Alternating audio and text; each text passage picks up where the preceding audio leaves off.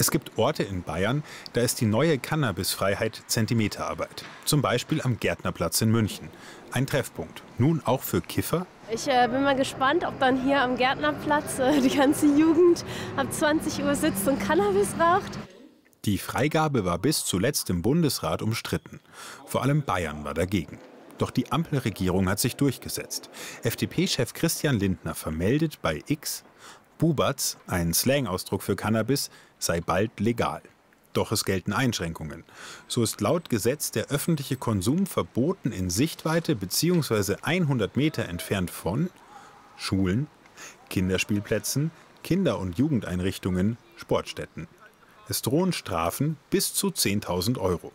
Die genaue Höhe, je nach konkreter Ordnungswidrigkeit, steht noch nicht fest. Wer also nichts riskieren will, sollte zum Beispiel in München an vielen Orten nicht kiffen. Besonders kompliziert ist es am Gärtnerplatz. Weite Teile sind zu nah an Kita oder Schule. Nur im Südwesten des Platzes darf wohl gekifft werden. Hier schon, hier nicht. Das sorgt für Unverständnis. Die Freigabe ist in Ordnung, aber wie das Gesetz gemacht ist, ist natürlich ähm, sehr fragwürdig. Doch ab heute gelten die Regeln. Und die Polizei hat angekündigt, Verbotszonen zu kontrollieren. Bayern will das Gesetz besonders genau nehmen.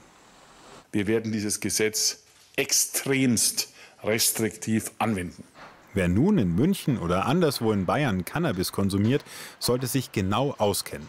Im Zweifel, so das Innenministerium, lieber gar nicht kiffen, das sei auch besser für die Gesundheit.